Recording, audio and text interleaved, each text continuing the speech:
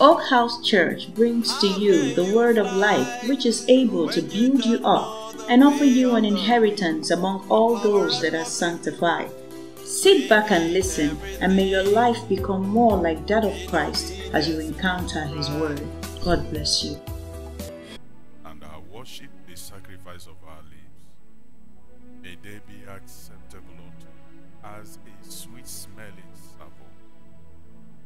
Father, even as we do so, may the heavens be open. Visit us again tonight in a way and a manner that we don't even expect.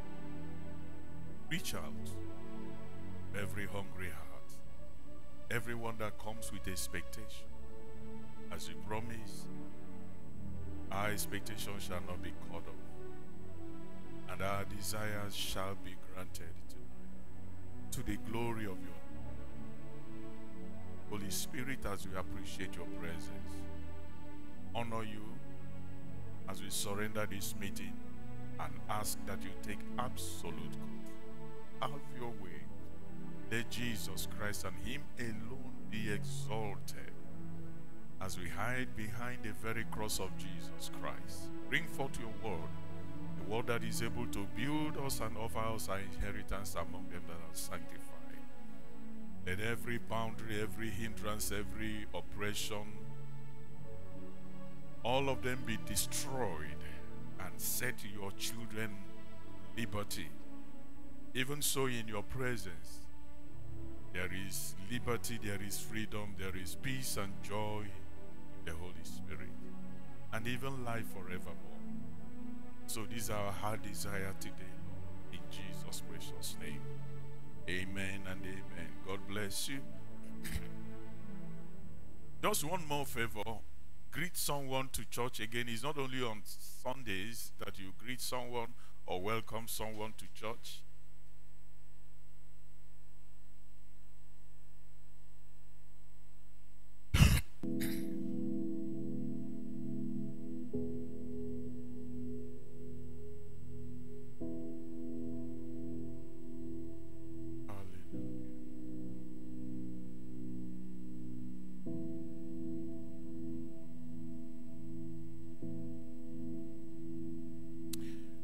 Want to begin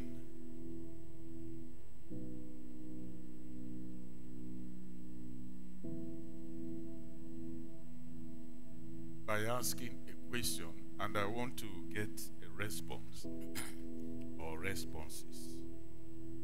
And I wish I have a biro here. Biro in my office. Or if someone can lend me his or hers. Whether it's blue or black or yellow or green. Okay, so that um, now I want to ask you a question, and everybody listen very carefully. What you've heard Jesus, for example, say to Peter when Peter, when the disciples of Jesus Christ were afraid because they saw him walk they were afraid. And Jesus said, Do not be afraid, it is I. And Peter said, If you are sure you are the one, tell me to come. And then Jesus said, Come. What kind of faith? Is it called faith? What kind of um, boldness? What kind of audacity that made Jesus say to Peter, Come?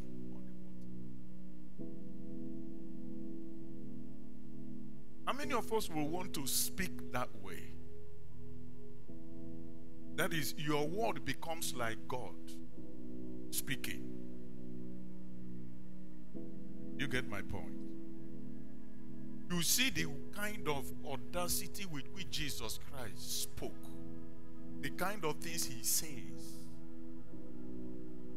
He doesn't he doesn't have any sense of uh, trying to build up his faith or build his confidence. He knows that he knows that every single word that he says, he said, when he says, pick up your bed and go home. A man that had been crippled for 38 years. He did not do any acrobatic displays and then shake his head. You know, all those things we do. He didn't do any of those. He says, just pick up your bed. And then a young man came to him and said, My servant was sick. He said, Okay, I'm coming. And then the man said, No, I don't need you to come. Just say a word. And then Jesus just opened his mouth and said, What kind of confidence? Way he speaks, the way he talks, the kind of confidence. And he said to the wind, Be still. That settles it.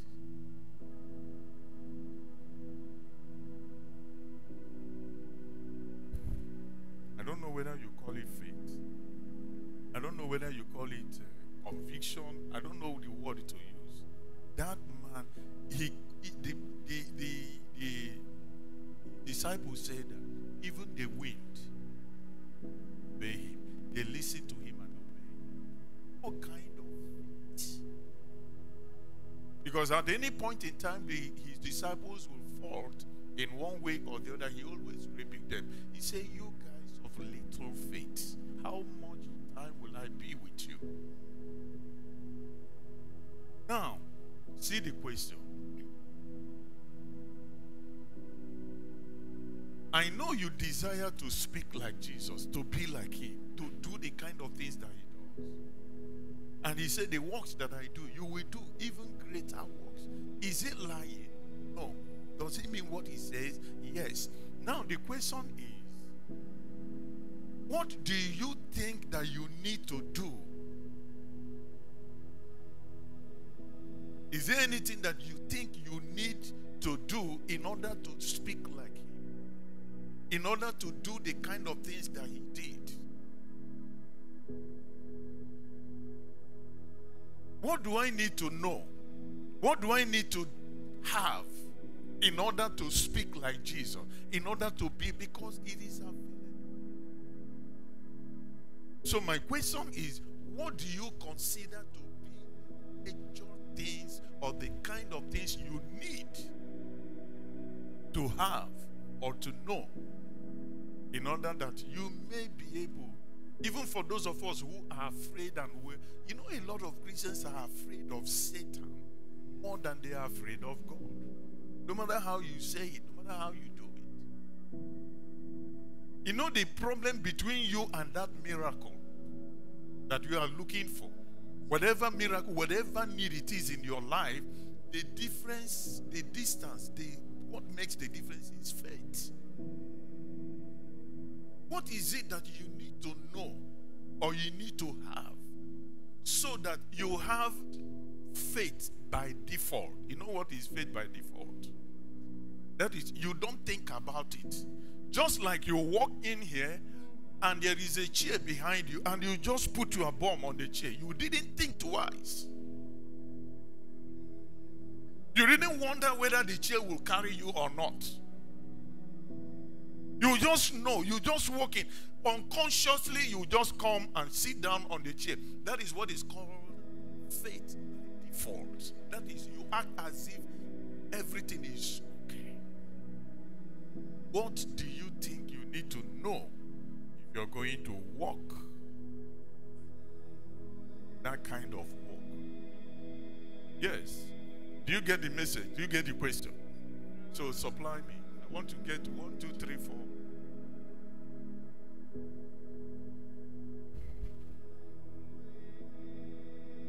Nobody knows. Over. My pastor speak. Pastor John, oh yeah, what do you need to know? Anything.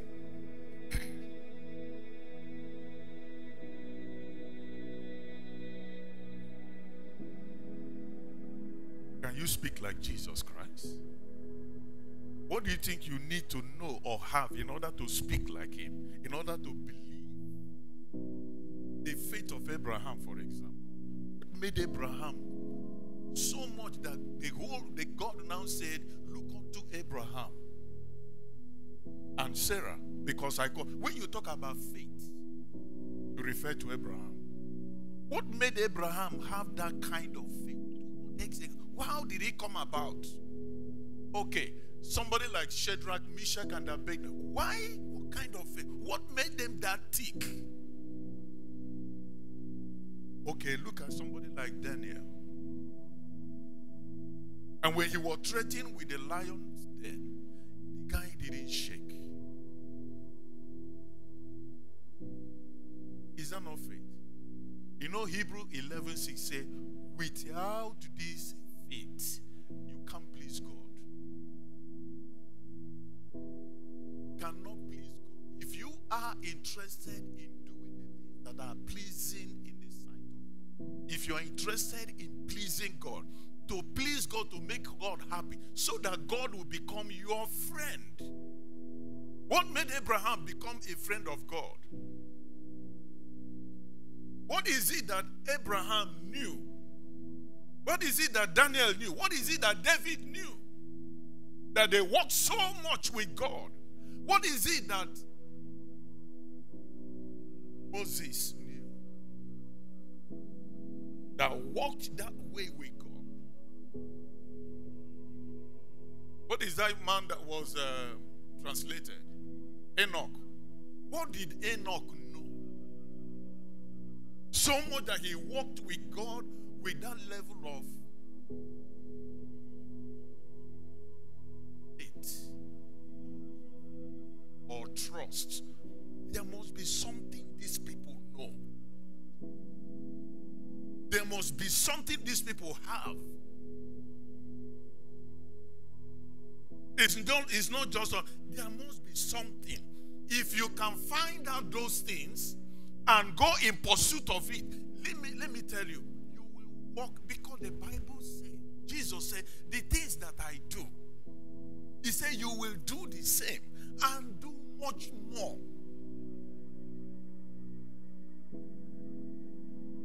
That is where we are going to. That's we need to step up because of the coming times and seasons.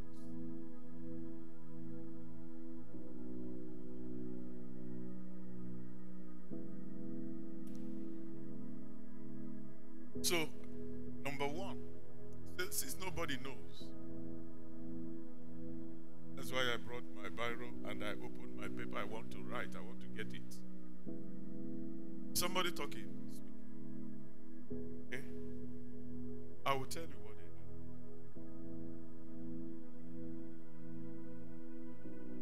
they The first one I spoke about it, I talked about it, we discussed it last Saturday. I mean, sorry, last Thursday Uh, are rolling, are uh, rolling their eyes and their head and their brain to remember the message of last Thursday. How many of you remember?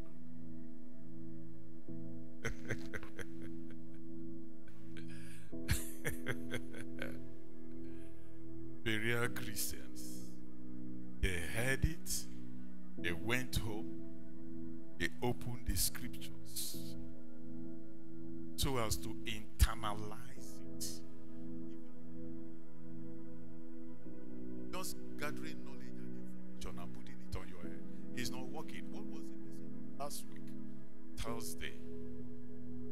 Except you go back to your notes. So what it means is that since Thursday last week till now,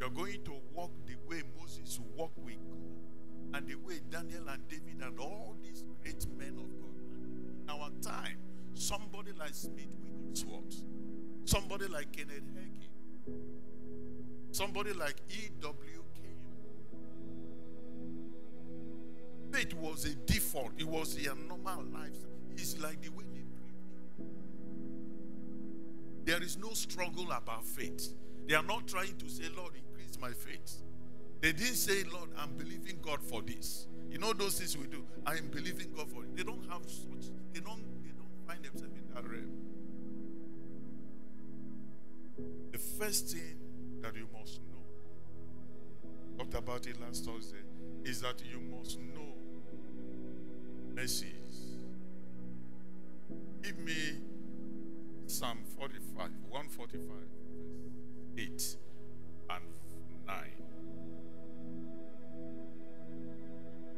In the Old Testament, the Bible calls it gracious, compassion, mercies, and all of that. In the New Testament, it is called love. Just know the love of God. If you don't know it, can't walk, you can't have this kind of faith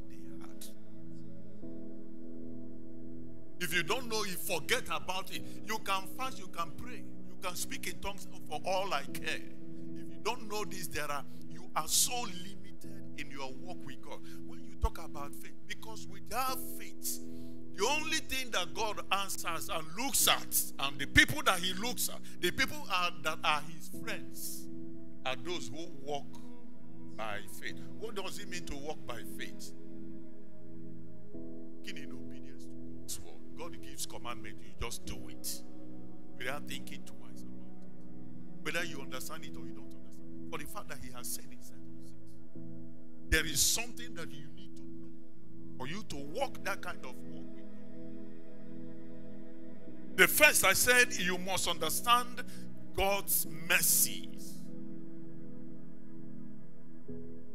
If you don't understand it, you are just playing religion. You are just going to church and coming back. Your tongues is just, you are blowing hot air. I don't care how jim your, your tongues is. The Lord is gracious. The Lord is full of compassion. The Lord is patient, that is slow to anger. God, the Lord, is great in mercy. The Lord is good to all. To how many people? That is, He is gracious to all people. He is full of compassion to all people. He is slow to anger to everyone. He is of great mercy to all. He is good to all. Tender mercies are over all his works. Will God do it? He will. Because if you don't understand the love of God, the mercies of God, you can't walk with God. You keep you keep condemning yourself, looking down on yourself, thinking that there are special people that God is so favored that you are not favored, that you are not part of it. So that is why the Bible says in the Old Testament they limited the Holy One of Israel.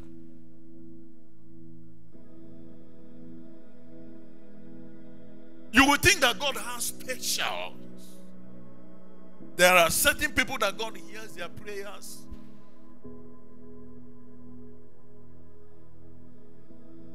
And so you put your your leg on the brake and the car won't move.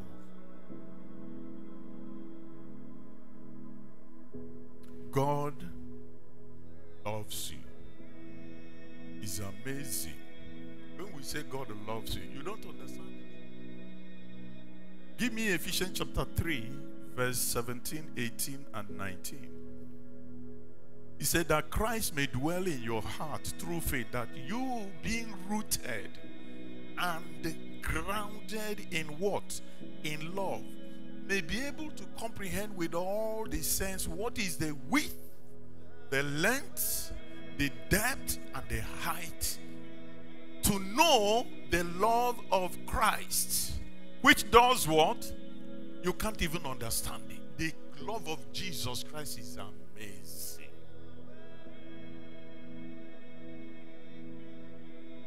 You want to know the love of Jesus Christ.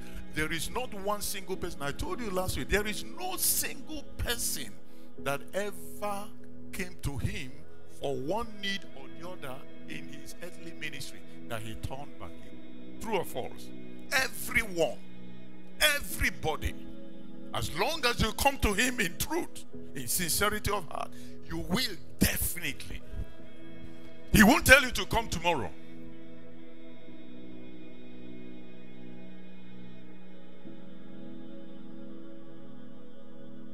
If you don't have that kind of understanding, you cannot deal with God. You can't follow it. You cannot walk with Him.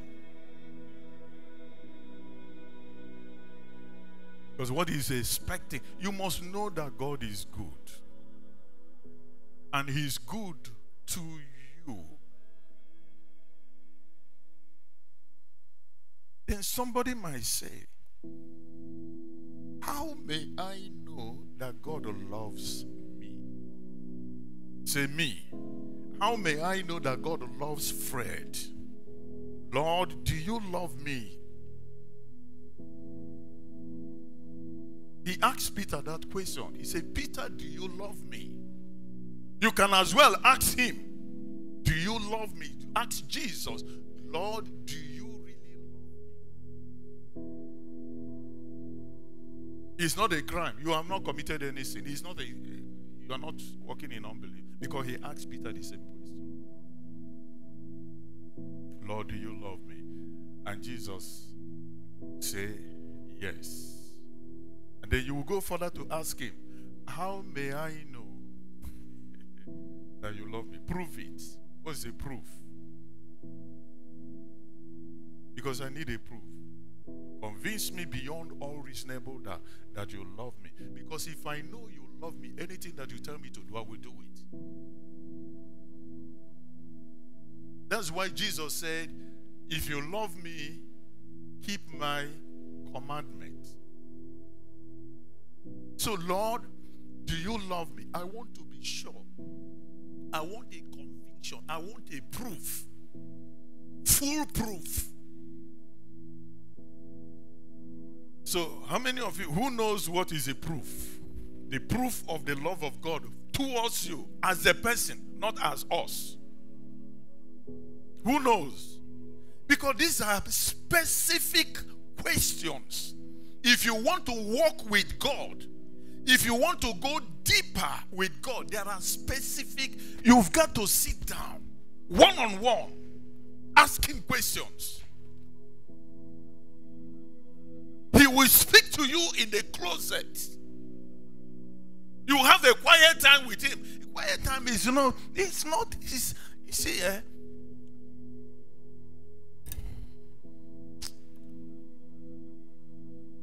When you wake up in the night, wake up early in the morning, or in the afternoon, whenever it's,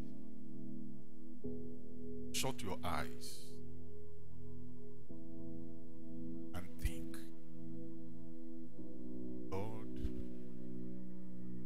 heard you say in your word that you so love the world.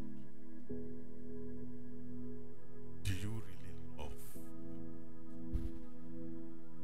Okay, let's not talk about the world now. Let's be personal, Lord. Do you love me? Ask Peter. And of course, you know his answer. Yes, I love you. And then your further question, the next question will be, I know. Because God said to Abraham, own son from your own loin be your son, your own heir, not from another person. And when God finishes all the grammar that he was speaking to Abraham, Abraham now asks a question. How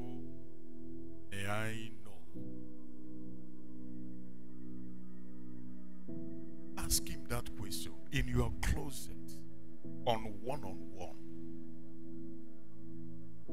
God, do you love me? Yes. How may I know? And he says, Give me John 15 13. If you don't settle this thing one on one, on one on one on one, you know what I mean by one on one? You and God alone you and Jesus alone, or you and the Holy Spirit alone. You must get conviction. That's why Paul say, I am convinced. I am convinced beyond all reasonable doubt that no amount uh, of suffering in this life can be compared to the glory that shall be revealed. He, he is someone who sits down and asks personal questions and got that conviction and God imparts that truth his spirit man. Say, greater love has no one than this, than to lay down one's life for his friends. Speak all the grammar you want to speak. Speak all the tongues you know how to speak. And even give yourself to be born. Sacrifice every single thing that you have. Every month you can up everything for you for the sake of your life. True or false? You can afford to give everything that you have labored in this life. To give them up all, all, not one single remaining. Because of your life. Because you want to preserve your life. True or false?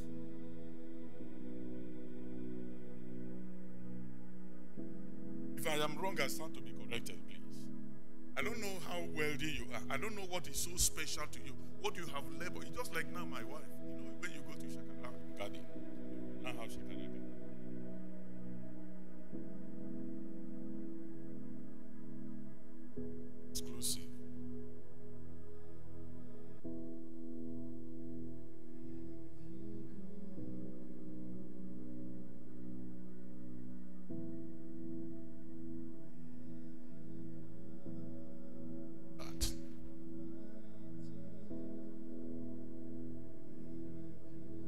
And then sickness, sir, deadly disease is between your life. One will you choose? To give your life up and to res- preserve those ones, or to give those things up in order to preserve your life? Which one do you go for? Is it not life? That is why he said, No greater that a man should do what?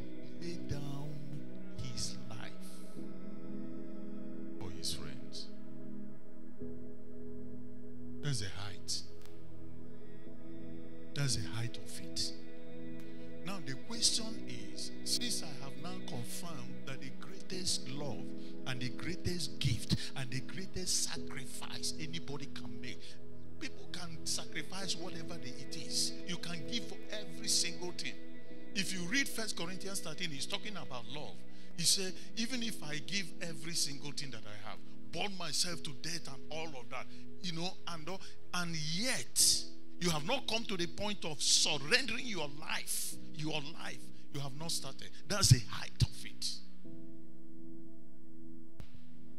Now the question is, we now know that the life is the highest sacrifice ever. So when you hear people that say, I have made sacrifice, I have borne my time, I have done this and that, you've not done anything, no. Until you have laid down this your life. You're ready to lay it down. But that's the height of it. And now see another dimension to it. You can afford to lay down your life. A mother. There was something that happened recently. I don't want to go further. It has to do with my family. You remember. I was boiling. I was boiling inside. I feel like pulling down and destroying the whole structure.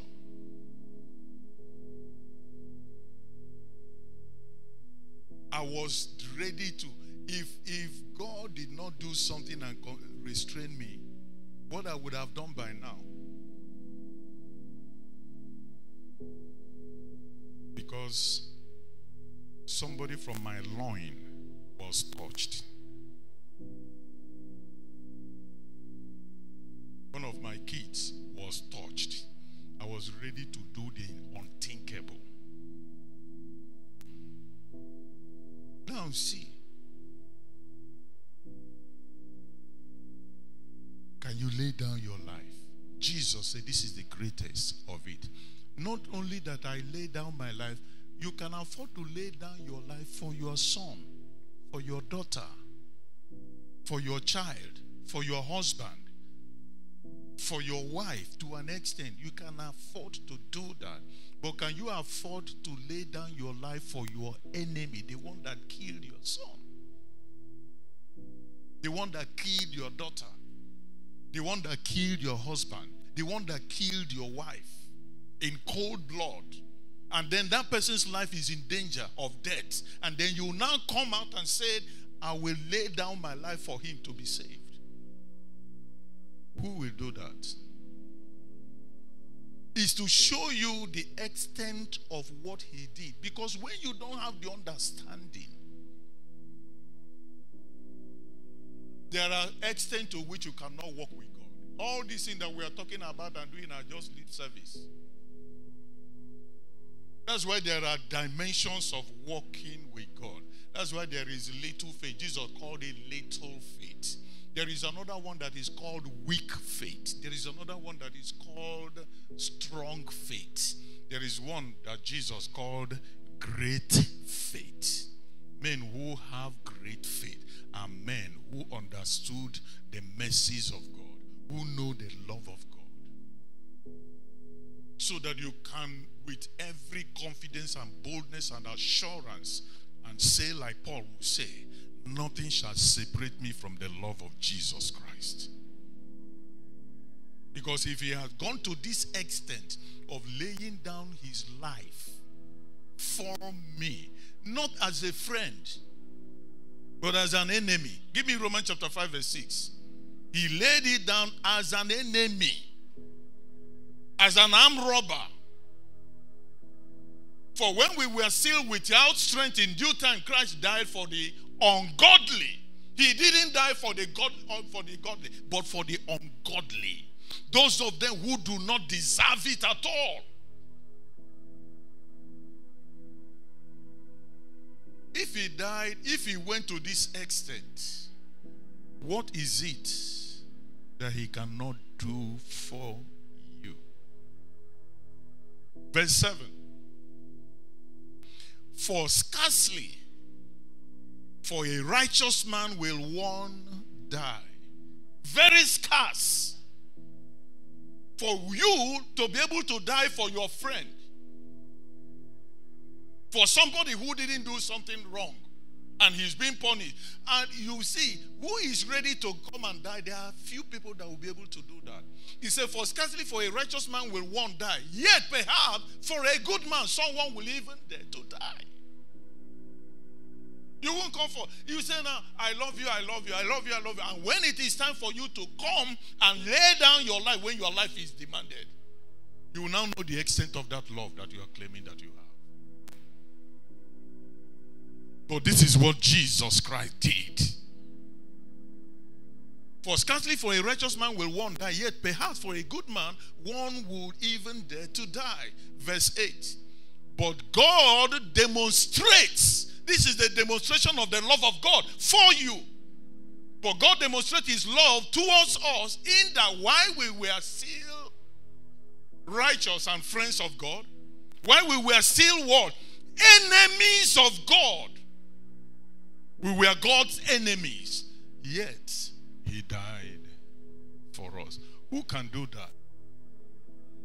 Jesus died. You don't believe that Jesus died?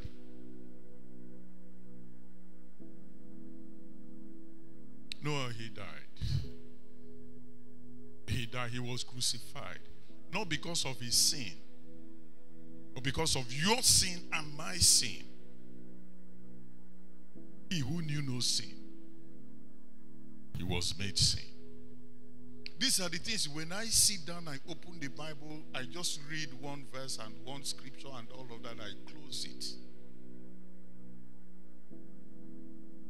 I go to think. If you don't know the love of God, hmm? when they tell you that God loves you, it will be flying over your head. If they tell you that God is good all the time, you look at your and remember it is the extent of your faith, your faith, your trust, your belief, you are accepting that truth. If you don't accept it, it will not work. There are laws. God operates by laws. If you read Romans chapter 1, don't go there. He said that the, the, the, the law of the spirit of life has set me free from the law of sin and death. There are laws. And God will never break his laws. If you read first um, uh, um, Psalm 138, verse 2, you will know that God has exalted his word all above every of his name. God is submitted to his word. His words are laws. They are spiritual laws. He can't break it for no reason. I will worship towards your holy temple and praise your name for your loving kindness and your truth. For you have done what? Magnified your word, exalted it above all your name. He submits. Cry from now till tomorrow, weeping sentiments, being emotional. When you finish, you will still remain with that your problem. You can come to church here where there is when there is nobody here, and you lay on the altar, and be crying and weeping, and telling God how you've been suffering over the years. When you finish, your problem will even increase. Because frustration will continue to increase because he doesn't have faith. The only thing that attracts God and move God in your direction is your faith life. That is why he said, without faith, he didn't say it is difficult. Without faith, it is impossible to please God.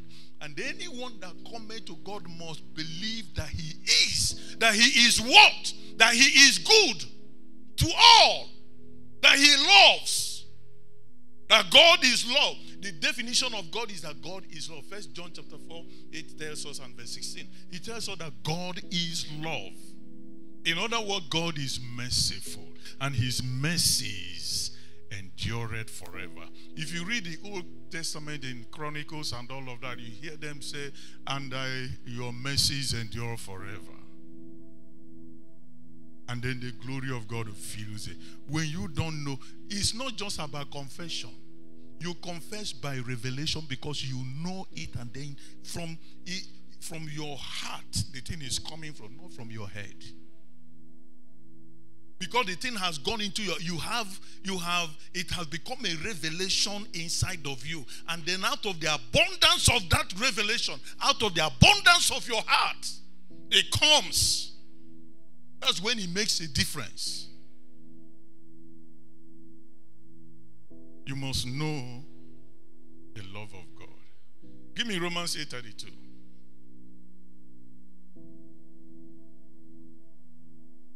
31.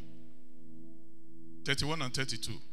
What then shall we say to these things that we've been talking about since we started this service? What shall we say to these things?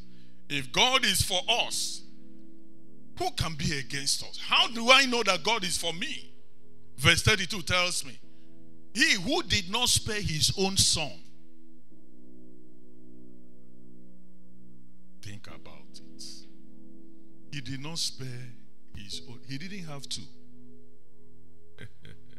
He's only one, the only son. You know, we have parents today that have only son. Only. If you see that child is no go area, that man is ready to fight the president with his life. If you kill me, kill me. In Igbo land, they tell in Igbo language, they say, that is one eye that owes blindness. Because if that son goes, you don't have replacement. There is no replacement. You will be childless. So you will guard and protect that child. You will love that child. You will want to provide everything for that child. You will not want anything to happen to him. That's what God did with Abraham. To show you, you can see why God say, I know Abraham. When he did it, God said to Abraham, Now I know. now I know. Because he told him, he said, Bring out your only son, Isaac, thy son, Isaac, thy only son. Bring him and slaughter him. Abraham didn't think twice. He didn't argue with God. He didn't go home and then began to having sleepless night, turning up and down, and he didn't do that. Brought him freely. That is loving God by default. by default. And when he did that, God now said to Abraham, Now I know. You can go back to verse, I think is uh, go back up. I thought you you go up a little bit. I think in verse uh, it verse 1? He said, Bring down your your only your son Isaac, thy only son. Verse 1. Okay. He said, Then he said, Take your son, your only son. I, he mentioned the name. The one you love. Bring him. And go to the land of Moriah and offer him there as a bond. That is, go to Moriah and kill him. That is what he was demonstrating the love of God for us. He gave his only son. Abraham was a type of God. That son, Isaac, was a type of Christ. He's a type and shadow. In the New Testament, that Abraham is like God and Isaac is like Jesus Christ. And Jesus, God gave up only son that he had. And he didn't give him up because you were his friend. No, he gave him up even while you were his enemy. That's what we read in Romans chapter 5. Is to show you the extent of love that God has for you. And then he went to Romans chapter 8, verse 32. Then go back to that verse 32. He says, He who did not spare his own son, but delivered him up for us all. For how many? For how many? For all. Does all include unbelievers? Does it include the, the wicked ones? Does it include the unjust? Does it include the ungodly? He deliver he spare he did not spare his only son, but deliver him up for us all. How shall he not with him also through fasting and prayer through fasting and prayer give us all things? He said freely.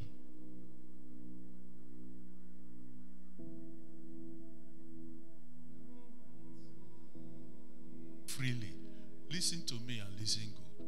Take the word of god literally the way. Don't add to it. Don't remove anything. Don't catch any other revelation from this. Don't begin to see to see that that uh, the Greek word for free. No, leave it this way.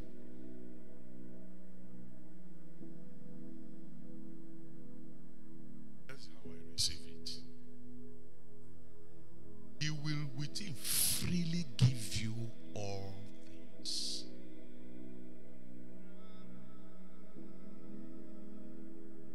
God said, the Bible said that God has not given us a spirit, but He has given us the Holy Spirit so that we may know the things that are freely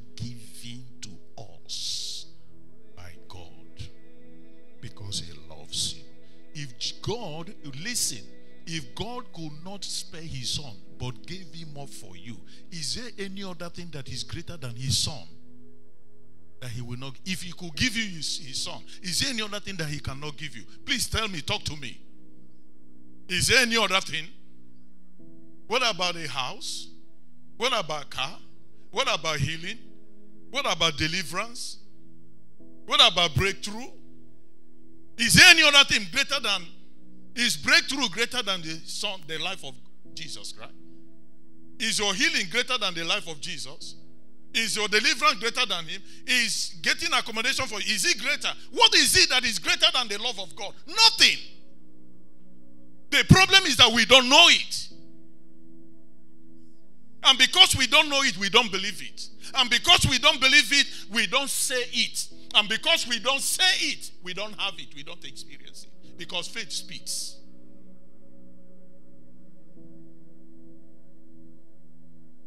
It's our problem. Is knowledge. If I am fasting, if you hear that I'm fasting, if you hear that I am fasting and praying, I'm not fasting and praying for any promotion or any breakthrough. It has been, I can't remember the last time I did it, many years ago. If I am fasting, if I am praying, fasting and prayer is always that I may know you. Grant me the spirit of wisdom. Give me revelation in the knowledge of you. Let the eyes of my understanding be so that I may know the hope of your glory, so that I may know the riches of your glorious inheritance so that I may know those things that are freely given to me, so that I will know the investment that you put inside of me, so that I will know the meaning of the truth that you say that the Holy Spirit, that I am the temple of the Holy Spirit, that the Holy Spirit is living inside of me. I need a revelation. I don't understand it. It's still shaking my head. I don't have the slightest understanding of what it means. We can be saying it. The day you know that the Holy Spirit is inside of me, the day you will know it. I know you've been talking about it, but we don't know it. The day you will know it. That's when a viper will climb your body, your whatever, you will shake. Is by default. That's when a viper will climb your body. You don't shake it, shake it off and continue with as if to say you don't even know. Maybe it's a one ant or whatever. You just shake it off and continue what you are doing. The day you know the Holy Spirit is inside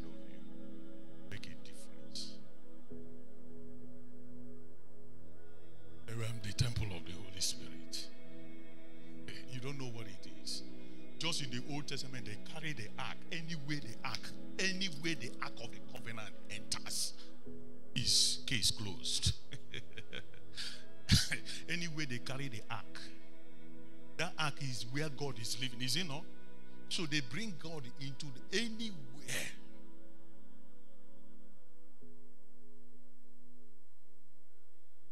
One day they went and conquered the children of Israel, collected the Ark of the Covenant and brought them and kept the Ark of the Covenant inside their, their temple. By the time they slept and woke up in the morning, all those uh, all those uh, statues or whatever, they, every one of them fell down and broke, broke into pieces. We say we are the temple of the Holy Spirit, and you are still, you know, you don't know you don't know. And the earlier you accept that you are ignorant of it, you don't know, the better for you because that is when you go begin to ask and pray to God. There are things you pray for, there are things you pray about. Lord, give me husband. Lord, give me wife. I don't pray. When I was, when I wanted to marry in those, I didn't pray, God, give me wife, give me husband, give me this. I didn't. But I said to God, and God bears me witness. I'm standing here and I lie not. Many years ago, you know what I said to God? Lord, you say that you love me. Prove it. Give me a wife that I will love and she will love me and that we will walk together. Because I want to be, I want my marriage to represent the marriage between Jesus Christ what I want. This is what I say to him. And he has proven that he loves me.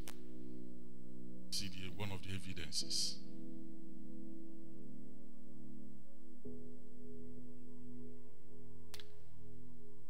It's because of this thing that we don't have. That is why we are like this, we are like that. Confidence is not there. When you speak word, our words are weak. It doesn't carry life. That's why that's why Bishop Oyedepo calls it living faith. There are faith that is alive, that is living. There are some that are dead. Say faith without works is dead. Faith is that action that a man takes based on the conviction of God's integrity.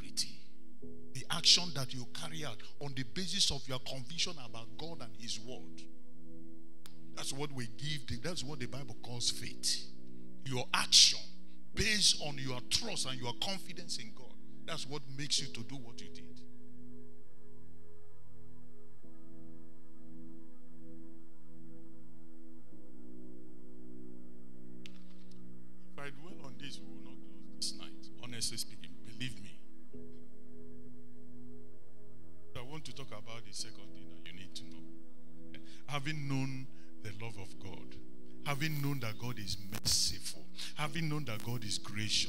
Having known that God is good to all, He does not consult your past in order to determine your tomorrow. He doesn't do that. If He forgives you, He has forgotten it. It is, you, it is your brain that is remembering it.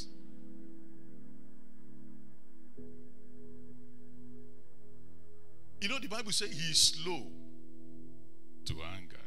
In other words, His patience. In other words, His long suffering towards you. That's why a lot of people misunderstand God.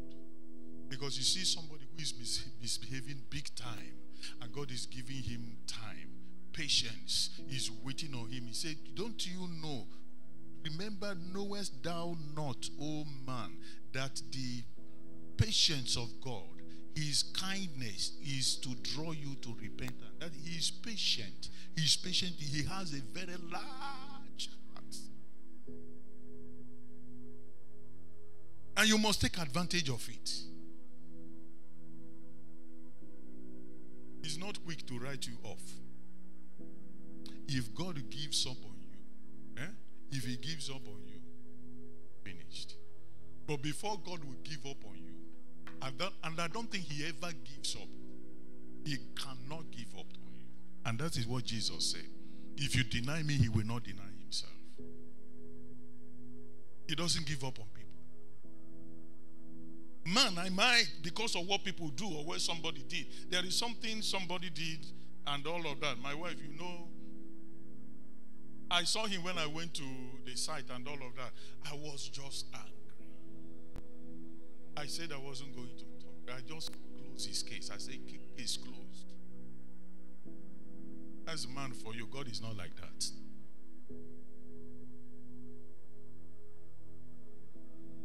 Patience.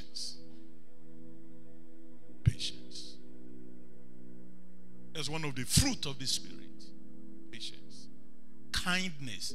Another word for kindness is loving kind. Another word for it is love. Another word for it is mercies. Another one for it is compassion. This is who God is. If you understand this, there is nothing you cannot do. So when he tells you, when when you understand it, and there is a river, you see that Red Sea. When they understood it, Moses knew it. Moses understood it. When God is saying, enter the Red Sea, enter. he plunged himself inside. Knowing that he will never deceive you.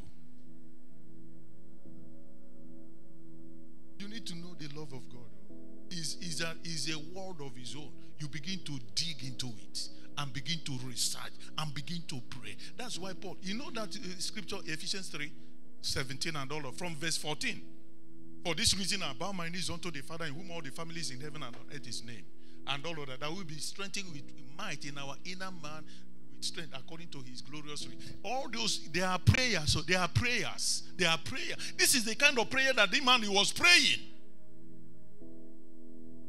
And he was taken to the third heaven and he saw things that men were not permitted to speak about. There are depths. That's why there are depth of his love.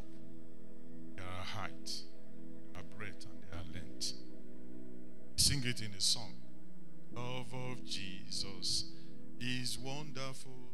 Love of Jesus is wonderful. Love of Jesus is wonderful. Oh, wonderful. So high. So deep. So wonderful. You can't understand. The Bible says it is love that passeth knowledge. Hey!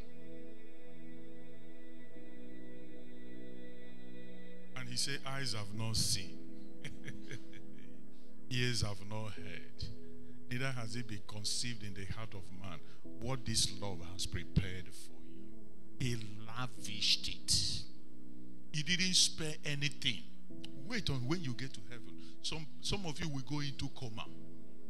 And when you get to heaven, you go into coma first, maybe for for 1,000 years or so, before you will recover. When you see the beauty, when you see the glory, some of you will sound misbehaved. That is, you will pass out because you are not used to it. You've never seen anything like that. The house that Jesus Christ he said that I go to prepare for you. You think it is like Aso Rock?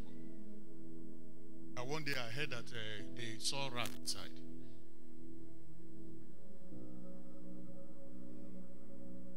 I'm not lying, it's true. They say they, they were fumigating Rock because of rats. It's not like the capital in the US where people go to riot and do all those things and carry placard. They don't, it doesn't happen there.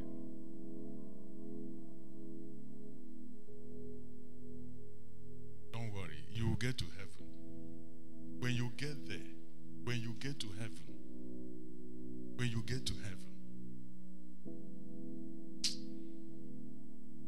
there is no amount of revelation and message and preaching and all of that that can describe how heaven is. It's beyond description. Words of man cannot describe that place. John, in his limited word, he saw, I saw a new heaven, a new earth. In that earth, there is there was no sun.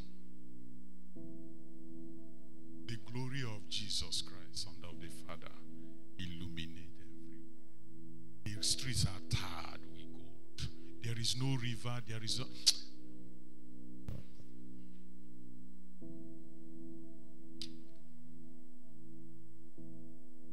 Oh, all these things that is what I'm that is what the Bible calls hope maketh not ashamed. Because the love of God is shed abroad in our hearts by the Holy Spirit. God will never lie to you. Now, the second thing that you must know if you're going to walk that walk, the first thing is that you must know the love of God. That is the mercies of God and all of that. The second thing that you must know is that you must know the integrity of God. That God is a God of integrity. That God sweareth to his own heart and does not change. Give me Numbers 23, verse 19.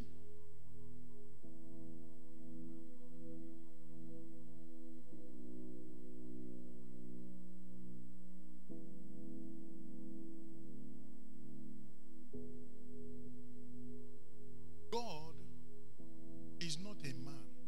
Say with me, God is not a man. You know, because you see, unconsciously you have reduced God to a mere man without knowing it, because that is what we do. Because you tell somebody you will come and you fail not to come, you will think that that is how God is. You know, you make promises to people that you are going to come, like David will tell me. He said, I'm always calling his name. So he will start coming to church now. David will tell you that I'm coming this evening. You will see him. And then when you see him later, he will tell you that something came up. That is man for you. He's not a. I'm just using it as an example. Okay? But he's changing now. He's. Uh, yeah, I saw him today. I saw him yesterday. Saw him the day before yesterday. I said, David, this one that you are always in the church now is like something new is about to happen. He said, yes, that I've been calling his name in the church. So he decided to change. So today he's in the church in midweek service. You have changed indeed. You don't want to clap for him? Amen. God has integrity. What is integrity? He says it and he stands by it. He's not a man, he cannot lie. God is not a man. He should not lie, nor the Son of Man that he should repent. That is the word repent, change his mind. He doesn't do that. If you offend him, what he say he will do, he will say do it. He doesn't withdraw his word.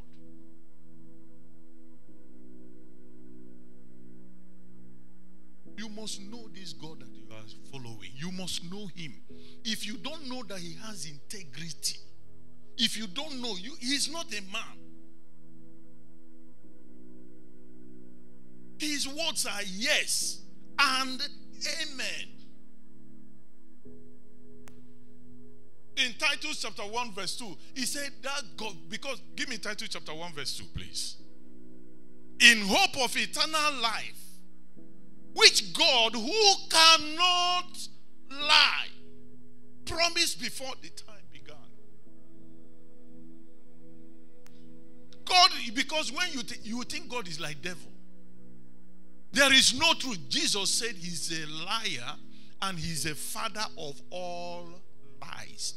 When he tells you something, is you can't trust, you can't hold on to what he's telling you. God is not like that.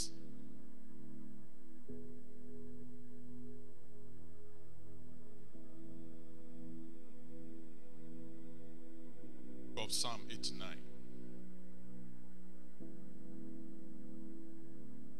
Thirty-four.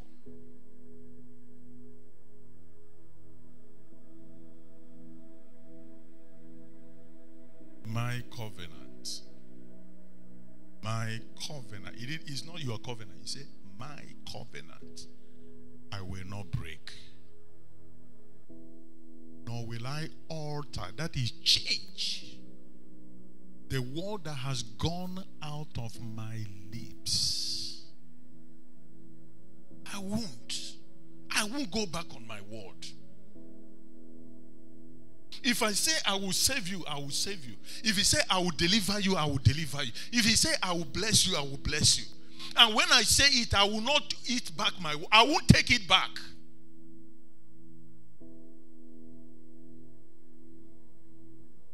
Verse 35. Once have I sworn by my holiness, I will not It is that same David that said, I was young, now I am old. See, David is smiling because his name now. David said, I was young, now I am old. I have never seen the righteous forsaken, nor his seed beg for bread. You must know the integrity of God. If God gives you his word, you can you can bet your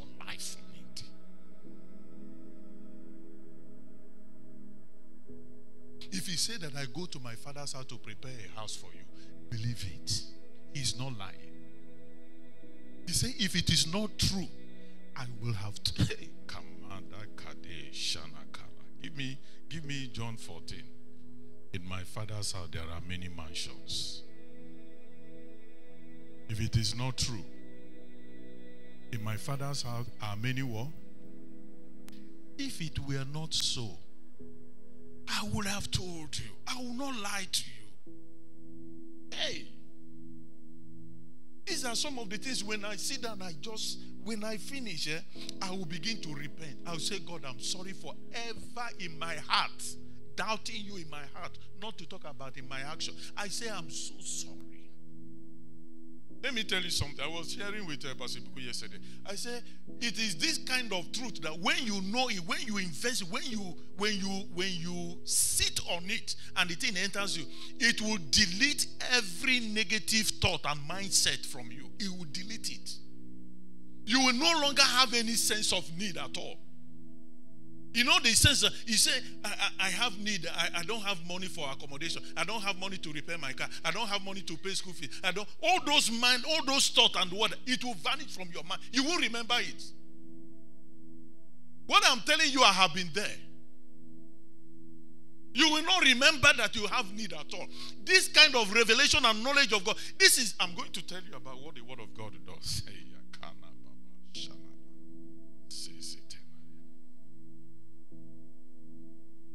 It is at that point when you no longer have need, sense of need for a husband, for example, when you no longer have sense of need for a wife for example. When you don't have any sense of need for money to pay for your accommodation. When you don't have when you when the thing is already you have you have forgotten about it. The word of god and all of that has taken it cleared it from your mind. It is at that point that the miracle comes It is at that point that breakthrough shows up. When you don't expect it, when you are not looking for it.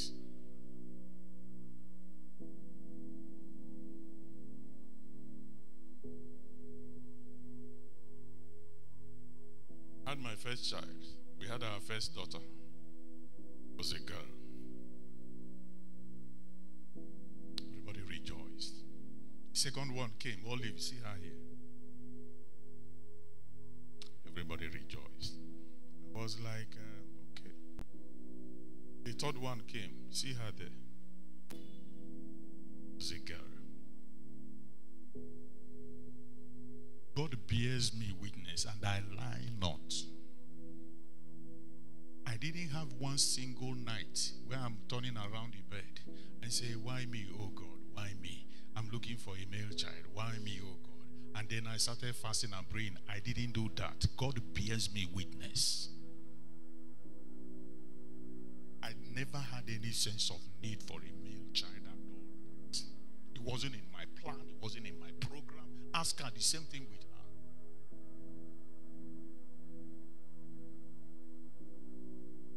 I'm looking for a male child. So, because I'm looking for a male child, that is why you have seven children.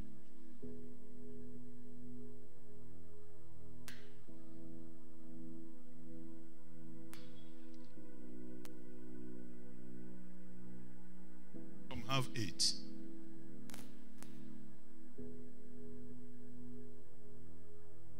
You're running around looking for how to raise money. Raise money to pay your school fees, to raise money to you when you finish next term, another problem, another it will come twice.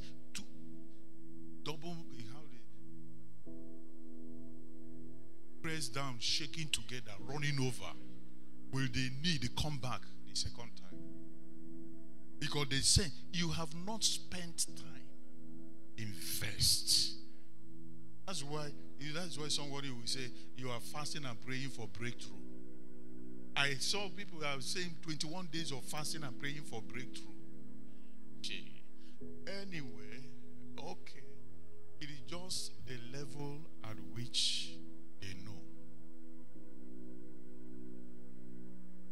When the sense of need and want clears from you, you are ready. The miracle, the way it will hit you like thunderbolt. But it is this kind of knowledge that you need. You put it inside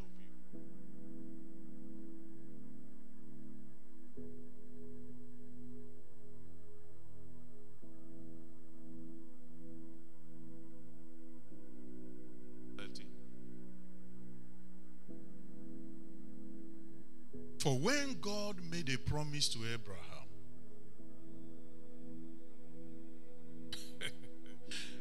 because he could not swear by no greater, he swore by himself just to help Abraham to believe him, to trust him, so they can walk together. Verse 14 saying, Surely blessing, I will do what? Bless you. And multiplying, I will multiply you. Verse 15. And so, after he had patiently endured, what happened? What God promised came to pass. God is not a man that he should lie, nor the Son of Man that he should do what? Repent. Say with me, God does not lie. Say with me, God is not like man. Say with me, God is not like my cousin, my uncle. Say with me, God is not a politician. Say that God is not a president. Say God is God. Is God with an impeccable integrity. He doesn't crack jokes. Oh. God doesn't crack jokes. I hope you know. He does not crack jokes. Because jokes are uh, not the truth. God, God doesn't crack jokes with you. He doesn't play a game. That's why he say his words are what? Yes and amen. He doesn't crack jokes. He means what he says and he says what he means. He has sworn. his is vowed. He said, By my holiness have I sworn.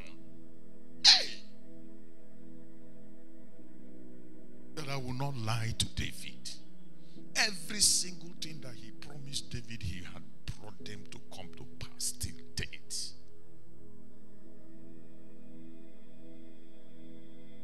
Look at what he. Oh, yeah, we should. You know, you know what you do. You should go back and repent oh, for even doubting God, because it is a sin. I will show you something. Verse, he said, and so after he had patiently endured, he obtained the promise. Verse 16. For men indeed swear by the greater, and an oath for confirmation is for them an end of what? Dispute. When you have quarrel or misunderstanding or whatever with someone, in order to settle that problem once and forever, you will swear. And the person swears to you. So if you go about and break that oath you have taken, the higher power will come after you. There is nobody that can deliver you.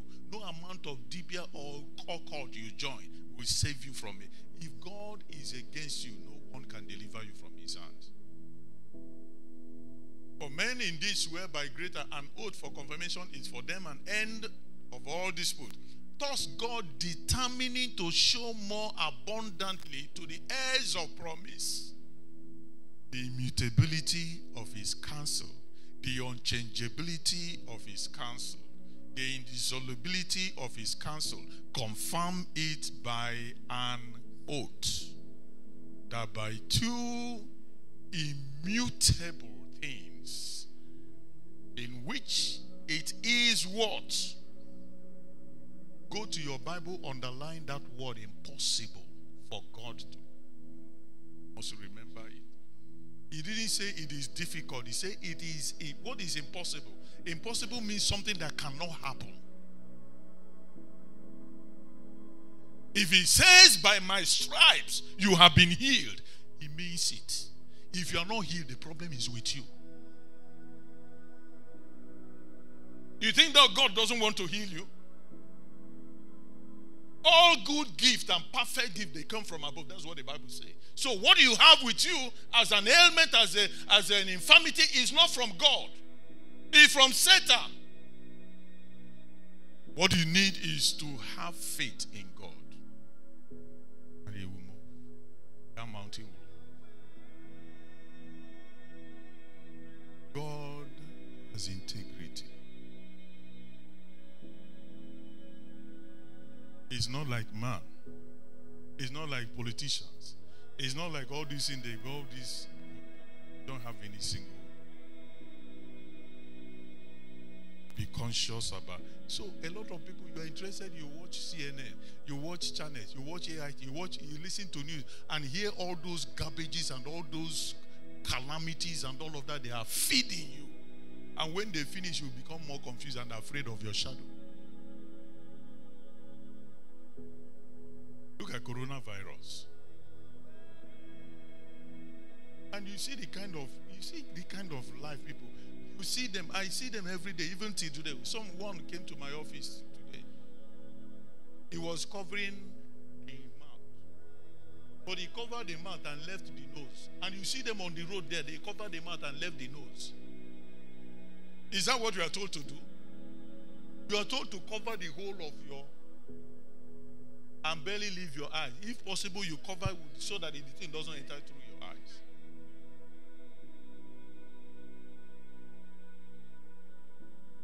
But he said, If you serve me, you serve me.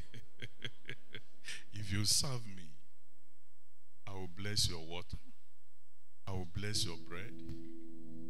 All these diseases, they won't come near you. Is he lying? Is a lying? So serve him. If you believe it, then serve him. If you say you believe it and you are not serving him, you are a liar. The truth is not in you.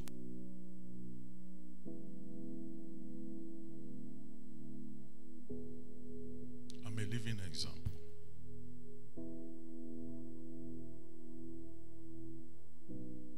My wife, there was a time they had a meeting somewhere and all of that. Issues came. People came down with problems and all of that. None. She had come in contact with a couple of people with COVID 19 and COVID 20 and even COVID 21. With second wave and third wave, and they come, she had come in contact with first wave and coming. There is third wave. I hope you know is coming. We're not through with uh, second wave I'm not scared. I'm not afraid. If after shaking you, you say, "Ah, Pastor, I made a mistake," oh. I forgot that I have COVID. And then I'll start doing like this. Looking for where somebody to where to get water. Put my hand under the rushing water. And uh, you think I'm gonna do it. I won't do it. Because by that time I have contact with your hand, every there is a life inside this. There is a life. There is a life the spirit of law and life, the spirit of life which is in Christ, has set me free from this law of sin and death. I'm immutable. The life of God is flowing through me. As our outward man perishes, our inner man is renewed. Invest in eternal life.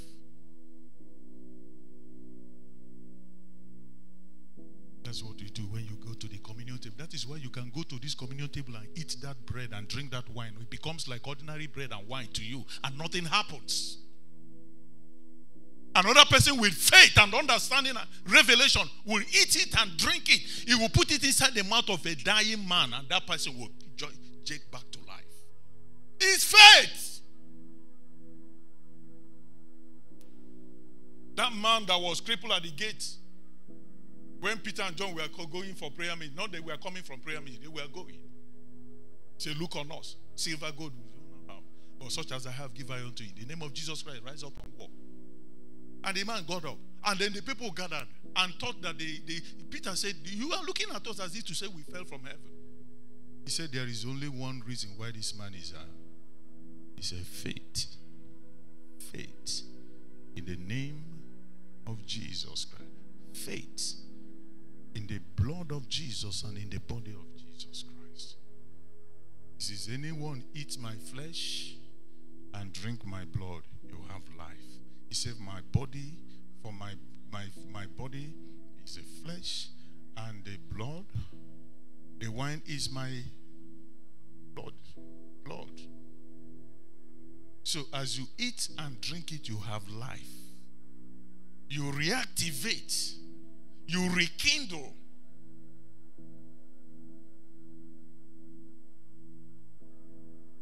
That life. There is a fresh supply. With knowledge, is with revelation. If you don't eat it that way, it will be nothing to you.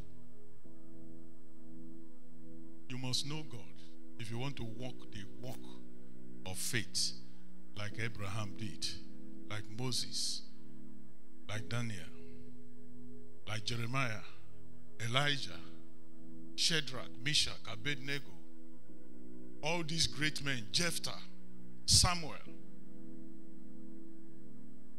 men who through faith subdue.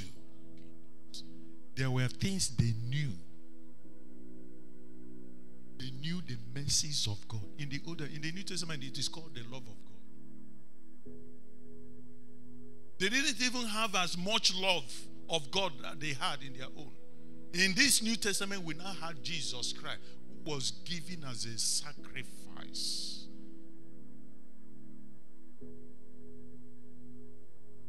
In the Old Testament was just covenant, Old Testament covenant that he cut with um, the children of Israel and Abraham, with animals and heifers and all of that. The Bible says if the blood of animal can wash sins and all of that and keep them away from them, and then bring the blessings of, of Jehovah and all, how much more with the blood of Jesus Christ, who through the eternal Spirit of God was shed to purge our conscience, our heart from evil conscience so that we might serve God. How much more the blood of Jesus Christ?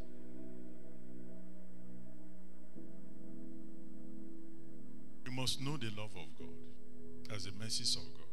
You must know the, that God has integrity.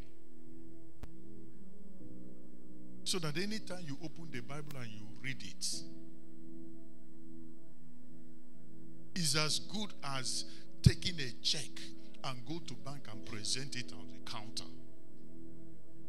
is as good as that check. Any word of God, except it is not God's word, it is as good as a check. You go to the counter and present, you will cash it. If you go with that kind of confidence and faith. Third thing that you must know about God, if you are going to walk with God, you must know the integrity of God's word. This word, what the word of God can do. When you say it, the problem is the see, let me tell you where the problem is in this here. You know, there are different kinds of word. There is a word of man, there is a word of Satan, the word of the devil, and there is the word of God. They are not the same. The word of God has life in it.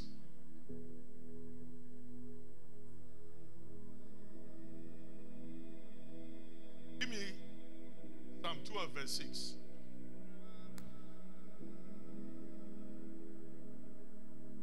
The words of the Lord are what? They are pure. They are not contaminated. They are pure. They are clean. He said, like silver tried in the furnace. The word of God has been tried. Your own word has not been tried. None else have been tried except the word of God. Tried how many times? Seven times through the fire, furnace of fire. It came out purer.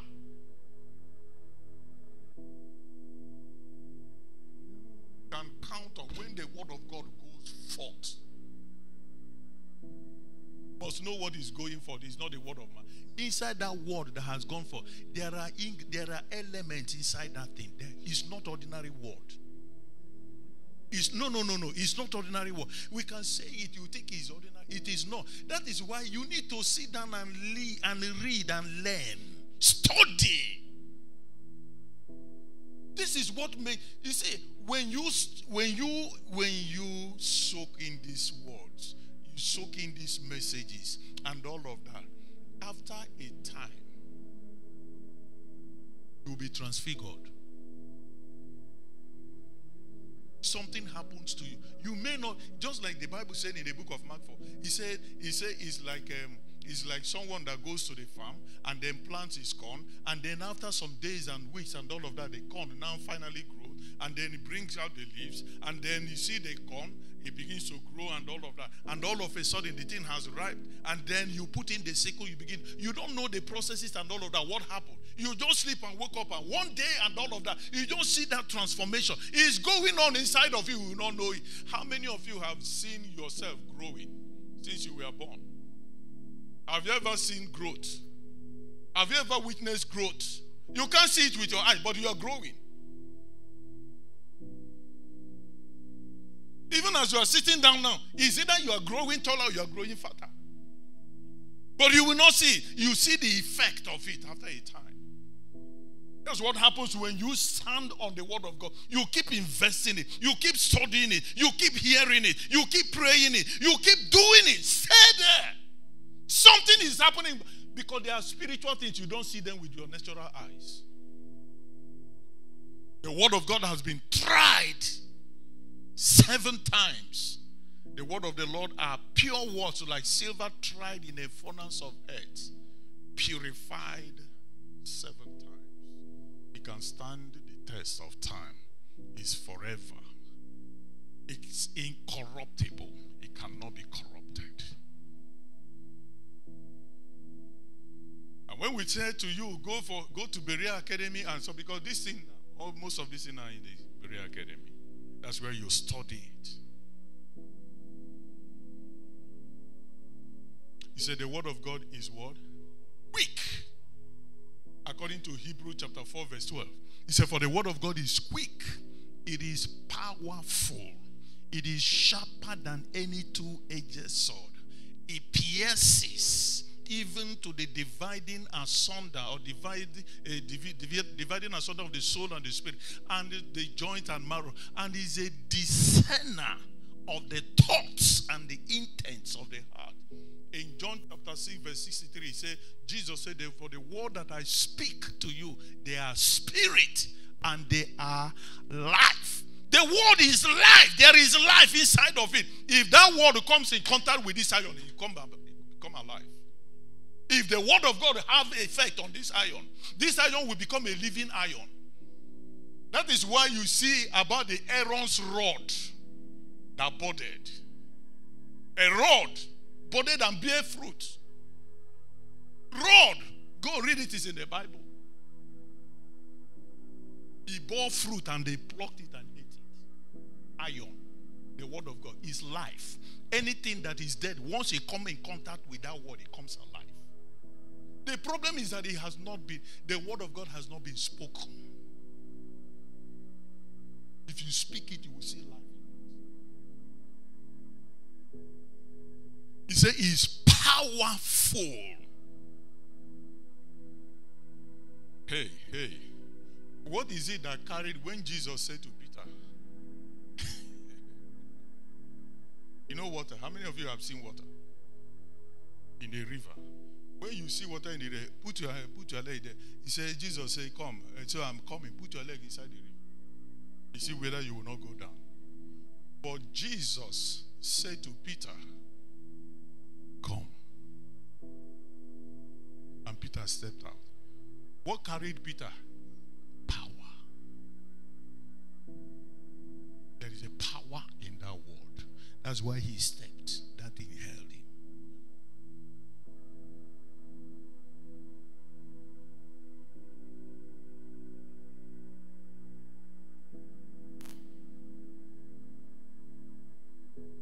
Jeremiah 23 29, please. Jeremiah 23 29. Is not my word like what? Says who? And like what? That does what? It shatters the rock in pieces. Who are you? Who be who be you? Who born you? Who you? The word. It will scatter you.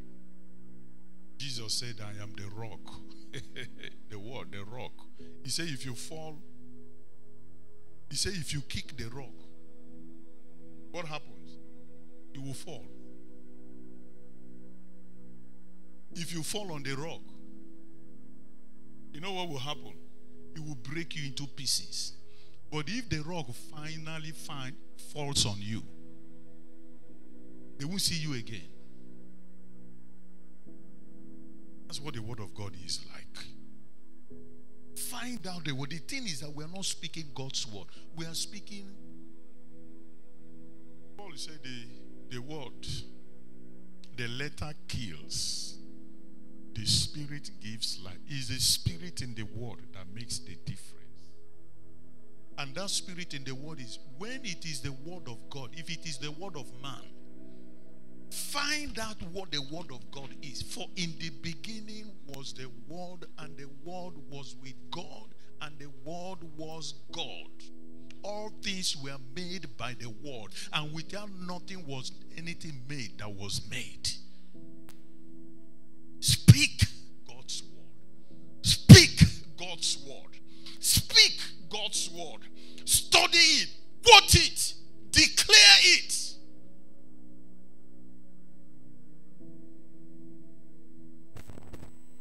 Eh, not, not this one. You know what? What do people? You know what do you say? Holy Ghost fire. When they say, say Holy Ghost fire. Is Holy Ghost fire the word of God? Is it God's word? The Holy Ghost fire. Back to sender.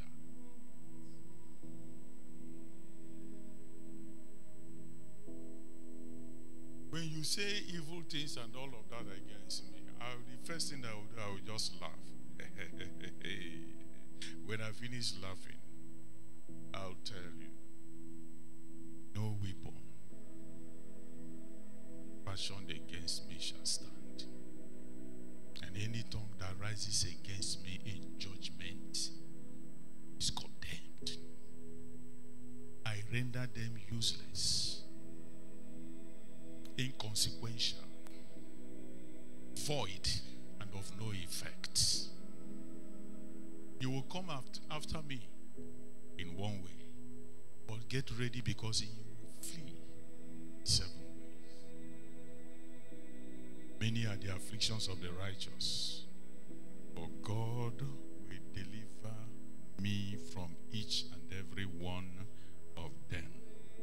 Even though I walk through the valley of shadow of death, I am not afraid because he is with me. If God be for me, there is no one is the word of God. Say it. If we don't say it, we don't.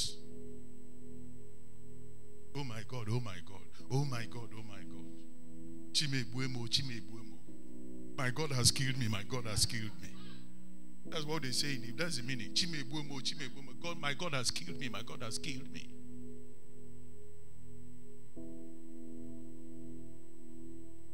I am not the, I am the head and not the tail. Thou shalt say unto the righteous, It is well with your soul. Therefore say, It is well with your soul. In Jesus' name, amen. You just take it. Don't catch revelation, you know. There is no Hebrew word for that or Greek word. Just leave it the way it is. Call the name of Jesus. If you are Igbo, call him Jesus. Leave it like that. If you are an Englishman or Igbo man, call him Jesus Christ. If you are Yoruba, call him who? Jesus Christ. Oluwawa. Amen. Amen. Amen. Oluwa Jesu. Is it Oluko Jesu? Eh-eh. Simple. The Bible says because of the simplicity that is in Christ. We carry Hebrew, put inside on, carry Greek, confuse it. Are you a Greek man? Are you a Hebrew? Leave Hebrew for themselves. There is no language that is perfect. Not one. Language is these languages we are speaking as a result of confusion that came from the Tower of Babel.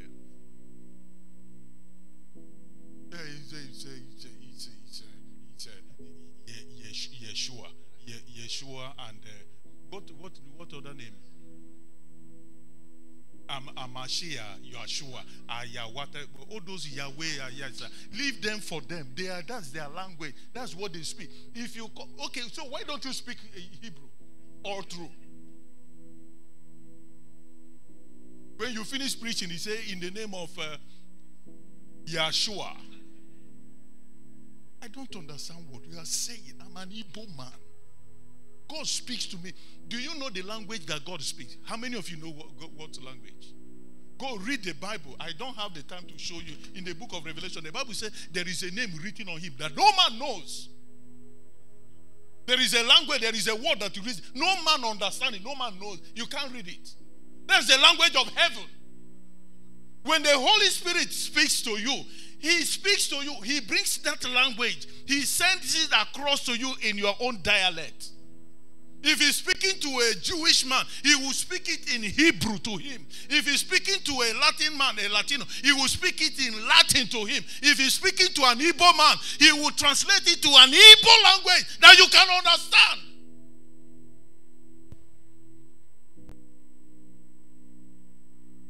Because if not, it means that if you don't study Hebrews, it means God won't hear your prayer. And then um, and then your your whatever will not be strong. Simplicity. The Bible tells me, short and simple, the just shall live by faith.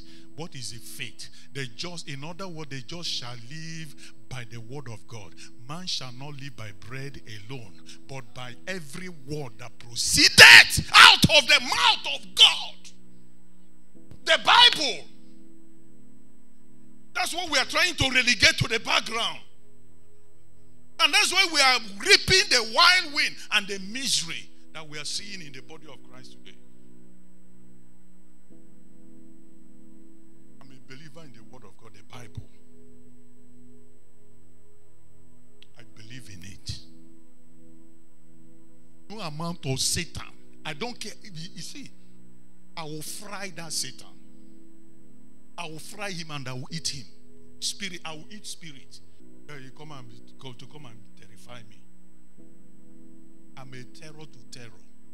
I'm a fear to fear. I am more than conquerors. I am born, I'm a seed of the lion of the tribe of Judah. Jesus said, flesh and drink my blood, you are not part of me.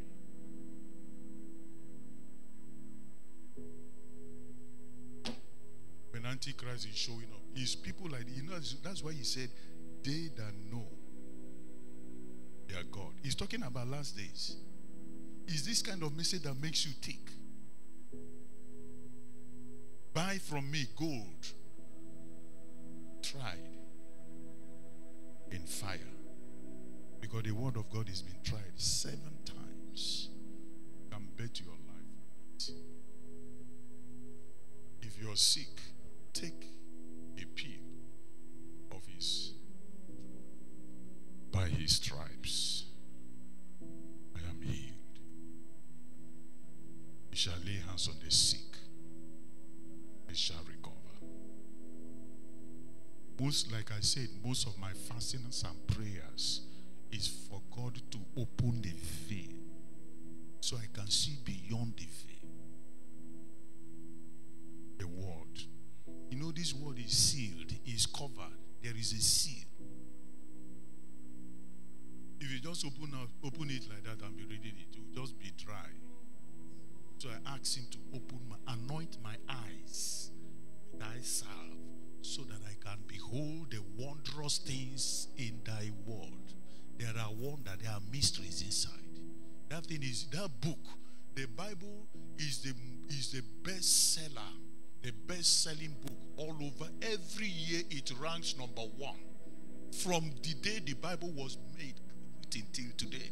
Not he doesn't have this. You know, you know how somebody, you know, in the school, there was one time, I can't remember where, they said the guy that came first in the school had about 90, 90 something percent mark. He said the second is from 60 percent. So there is no 90 something, there is no 80, 80 something, There is no 70, 70 something. There is no 60, 60 something. It's from 60 downwards. That's how the Bible is, the best selling book. There is no second, no third, no fourth, no any there are no other, no comparison. Every year he sells more than any book ever written put together. That's why some of you don't even have it. Most don't have it. You don't have a Bible, and you say you're a Christian. You say you're a believer. Believer in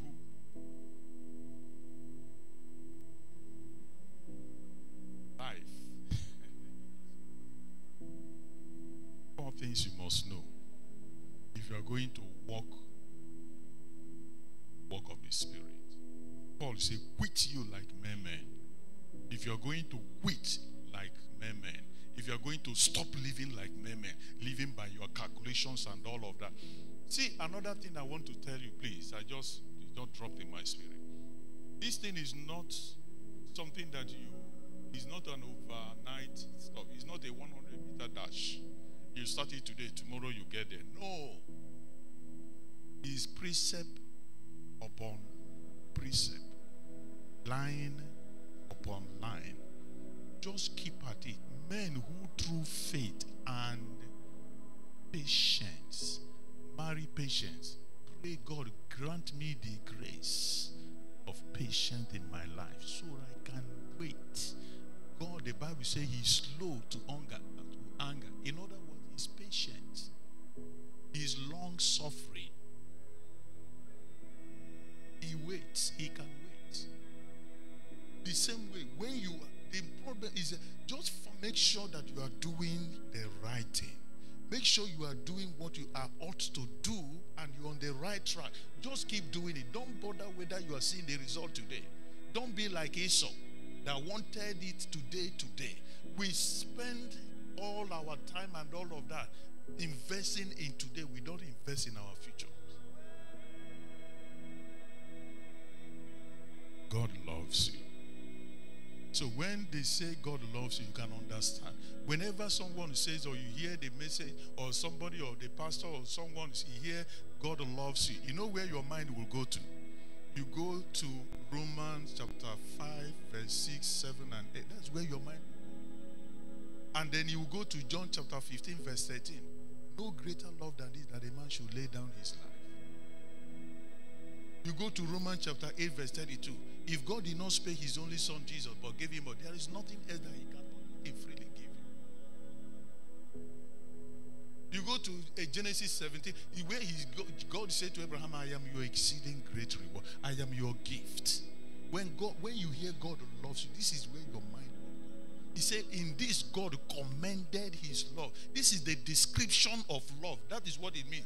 In this, this is how God define love that he laid down his life for you. And there is no other thing that anybody can give you more than his life. He can't give you his life. Even the money he will not give you. You will have money, you are afraid. You know those you are afraid. You know some of those things you do. Your friend will come and say, uh, uh, David, Dave, now I need 2K. You will have 20,000. You won't give him even 500. You tell him that there is no, as a matter of fact, you are even thinking of to come to him.